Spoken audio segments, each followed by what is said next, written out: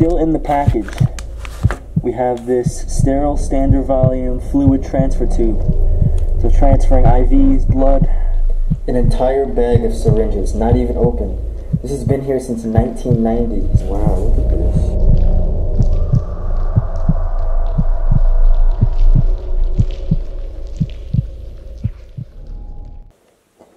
These are the tunnels we just had to go through to get into this building. And now we're in.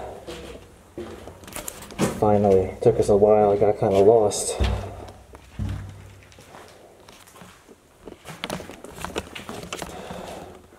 What's up, guys? So, right now, we're inside a basement of a really, it's kind of a newly abandoned hospital. Doing some research, it was kind of hard to ga- gather some factual evidence, but the buildings were sometime abandoned in the 19, I mean, built in the 1930s, 1940s, abandoned in the 90s. And I've been here one time to take pictures, and this building is completely pristine. No graffiti, uh, minimal vandalism, and there's a ton of cool stuff in here. So let me show you around the basement real quick, and we're gonna go up this. This hospital has three floors, and I know for a fact there's a autopsy room and maybe a morgue in here. So we're gonna have to find that later in the video. But let me show you guys what's even on the floor as soon as we come out of the basement. Got some X-rays. It's gonna be hard to kind of see this. It's a bad one. No, it's very X-rays. You can see the spine right there. It's another spine. Oh, you can see like their digestive system in this one. I know you can't really see on the camera, but there's tons of X-rays, so I'm sure we'll be finding more. Here we go.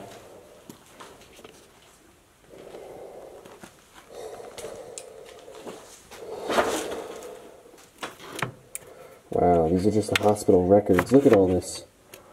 Look at all these notes. Is there a date on here? 1988, 1960. These are all notes of patients, just all left behind. Employee cards. We're not going to show any names because that'd be just disrespectful to the families.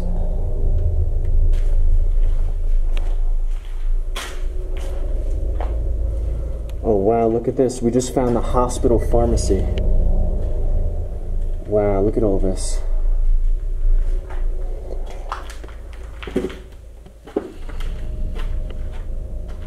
I would go up and try reaching to see if anything has anything left, but I'm not wearing gloves and all this stuff is could be toxic. You got the pill bottles in storage with the caps. What is in here?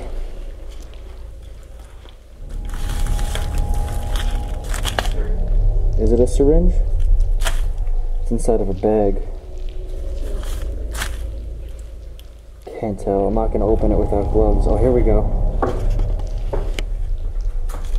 It looks like a syringe or a needle without the It actual needle.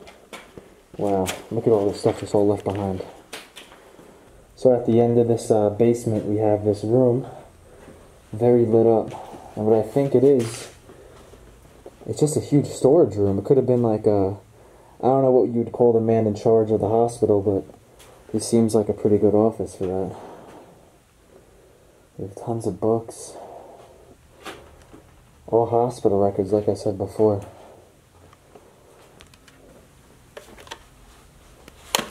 Still in the package, we have this sterile standard volume fluid transfer tube. So transferring IVs, blood, that's what this was used for. All these pressure things, I don't know what they're called. But this place is filled with stuff. Got all the. Wow, these are like baby ones. Check this out. Look how low this is on me. This is not even up to my waist. It's very creepy and it's still stacked in this locker like that.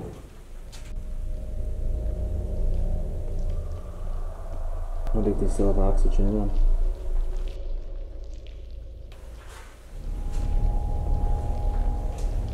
Oh wow, look at this.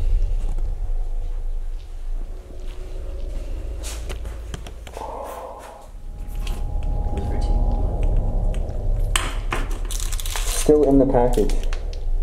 10 cc syringe. See if there's anything else left on the shelves.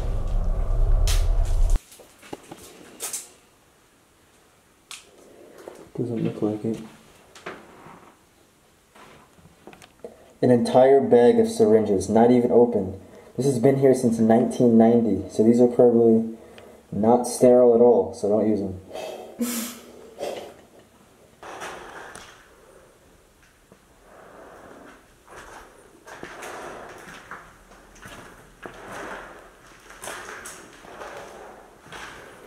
oh, looks like we found an x-ray room.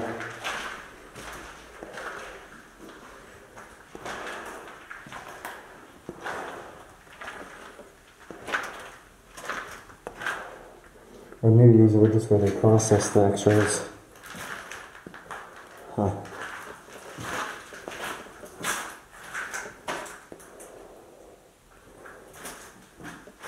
It's possible they may have removed the uh, x-ray machine to use it somewhere else, but don't see it here. Radiology secretary.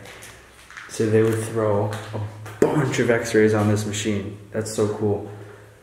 I would take the time to get like eight of them and put them up, but I don't got time for that.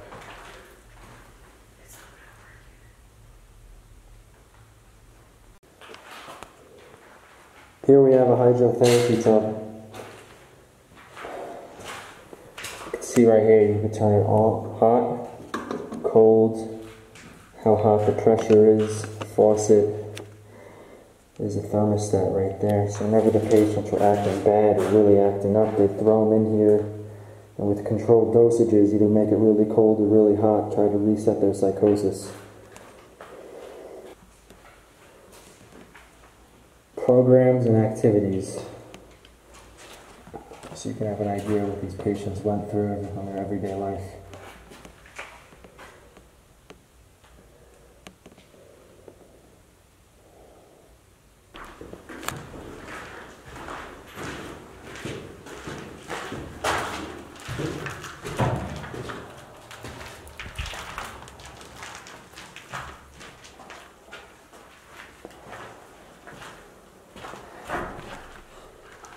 And here we go. Now, it's starting to look like a hospital. Oh, look at this!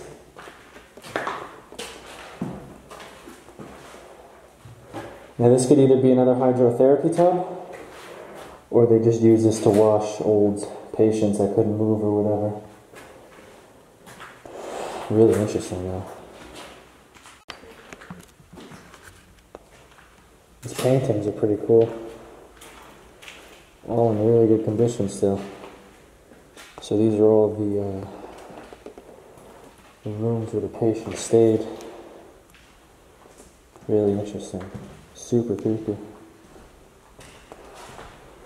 I'm guessing at the end of this hall could have been a waiting room. Just from other previous hospitals I've been in, or they would have took the patients out and put them in here just to get a little air out of their room, just to get their bodies working. X-rays still litter these holes, just tossed around. No point of showing all of them, they all look the same.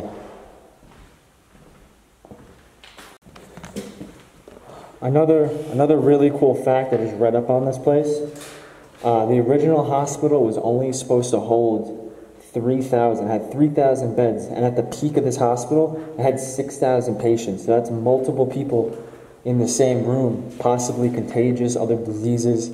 So, I mean, these health concerns back then, they really didn't matter, you know? They had to do what they could with the people they had. Apparently, it was for every five patients, there was only one nurse. So, those numbers are crazy. I can see why this place closed down. And what we found? Yes. We found the operation room. Doesn't have those infamous lights, but you could obviously tell it was one. Oh, wow.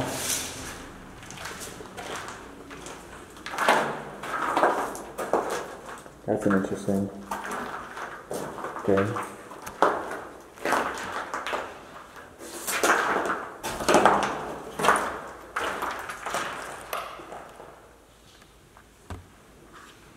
So we have Operation Room 1, Operation Room 2. In the middle, this is where all the nurses and doctors would clean up.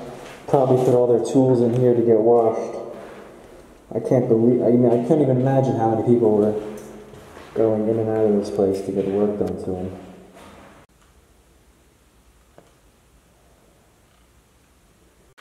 Inside some nursing quarters and storage. Possible linen would be stored in here. I'm guessing my best bet that there could have been medicine in here based on the lock on this.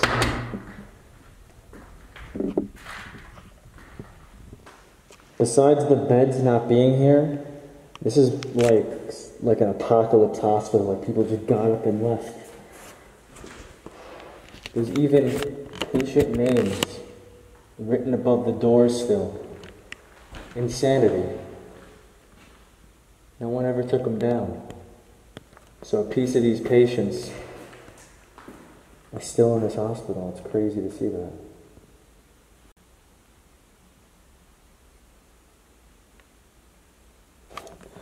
Now, if any of you guys explore yourself and you're inside of a building and have no idea what time it closed, these are the best bet you have. You open these little panels up. Don't touch any of this, that could be bad. But you can see the checkup date.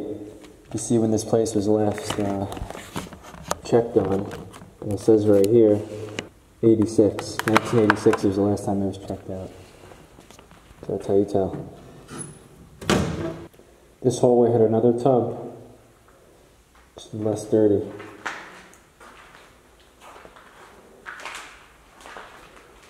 This hallway, besides the little paint chips on the ceiling, is in pretty much pristine condition.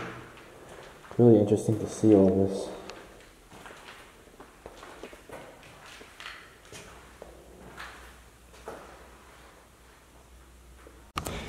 Okay, so no clickbait or anything.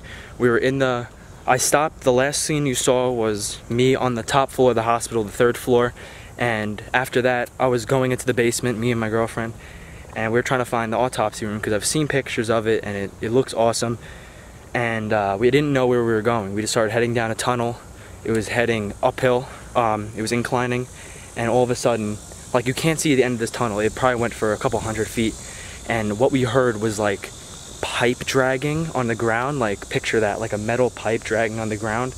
And I mean I didn't get on my camera because I was just too scared. We both started running. Um, we got out of there quick. But um, thanks for watching. My heart's pounding uh, come back next week for more exploring videos and I'll see you guys later Okay, so I don't know if this is because I've been watching um, Ghost Encounters with Zak Bagans or Baggins, whatever his name is. But while we're in the hospital, I don't believe in the paranormal and I wasn't even gonna put this into the video before I said all this. But as we were walking through that very long hallway, um, I got the chills, she got the chills. Like just a swooping, like, it's so hot, it's a summer day, it's like at least 85. And I was freezing cold.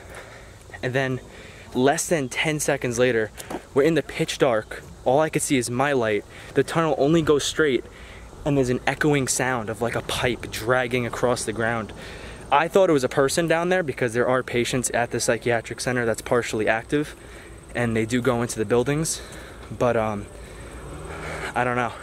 She mentioned it could have been something paranormal. I don't necessarily believe in that, but since that just all happened to me, I don't know, I could believe it. Anyway, thanks for listening to me rant. See you guys later.